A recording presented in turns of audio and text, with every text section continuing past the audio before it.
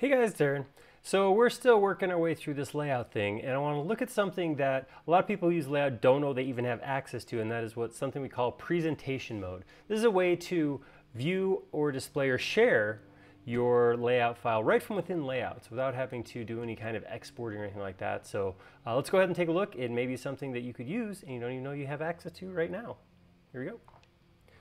Okay, so I have the same presentation I've had. They've added all these different images, these pages too. So I'm just going to go to the first page.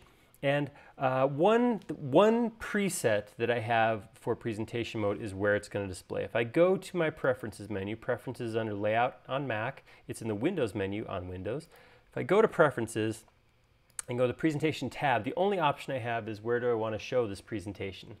So right now I have it set to just show it on the same monitor as the, the layout window. So if I want to automatically jump to a second window, I can set that by clicking like on a secondary monitor, but uh, right now I'm gonna keep it on the same one I'm in. That's good. All right, so to get into presentation mode, the only thing I really have to do is come over right here and click on this little monitor. This is start presentation and that's going to go to full screen, not full screen, but full page. It's going to get a page as big as you can get on your screen. So this document was optimized to be exported on a letter size piece of paper. If you're creating a document, a layout document that you want to show on a presentation, you may want to create a document that is a 16 by 9 ratio that's going to fill a standard monitor. So once I get in here, uh, I am limited to what I can do. I can go through the pages. My arrow keys will let me do that. So if I hit the right arrow key, right arrow key, it's going to take me forward one page at a time when I hit right arrow key. Left arrow key, of course, will take me back. Left arrow key, left arrow key. Uh, the down arrow key will take me to the last page, and the up arrow key will take me back to the first page. So pretty simple, easy to navigate. The goal here is that rather than say generating a PDF and paging through it in front of a client or something like that, or exporting a bunch of images and dumping them into PowerPoint, you can just do it right here from layout. Couple the big advantages that we have by doing this in layout rather than going out to another place to export or share your uh, documentation is one is annotations. Um, and I know I can do this in PowerPoint or something like that, but if I say, oh, I don't, I don't like these chairs here, I want to get rid of those, I can just go ahead and draw on them. I will have the option when I leave the presentation then to hold on to these annotations or get rid of them. So if they're just temporary, if I'm just, you know, goofing around, I just want to, you know, make things happy because we need happiness, then I could do something like that uh, and just dump it out. But if it is important notes, annotations where I, I want to remember to remove these chairs later, I can keep them when I come back in.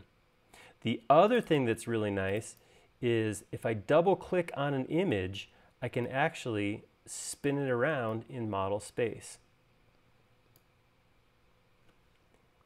As soon as I click out, it's going to go back to the view I had before, but double clicking on it will allow me to navigate through it. So this is really nice because I can just dump a model on here. Uh, I could come up in layout with the view I like best, but know that during the presentation I can go, oh, you want to see what the backside of that chair looks like? No problem. I can spin it around like that and take a look.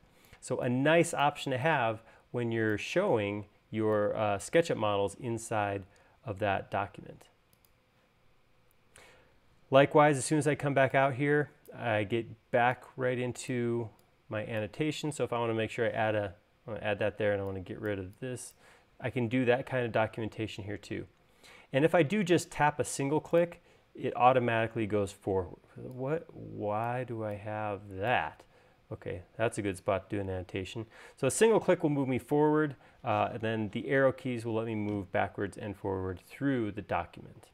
Once I'm done, just tapping the escape key will take me back out. And here's what I was talking about before.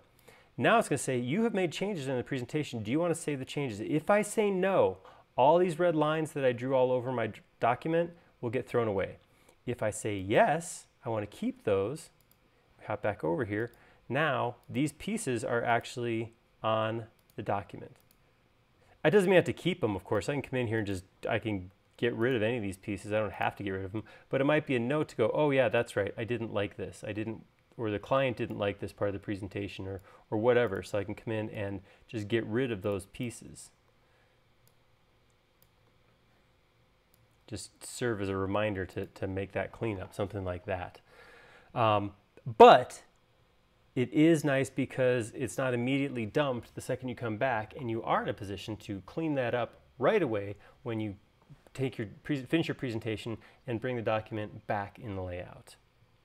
So I know it's simple, but a lot of people see that little button up there and they maybe click on it once or twice and they go to a full screen and they think, oh, that's it. But there is more to it. So you can navigate through there. You can include that those drawings on there. And the biggest thing, I think what I think is the most powerful part is that ability to go in and show your model because well, you guys already know this, right? So showing a picture of a building you've designed is great.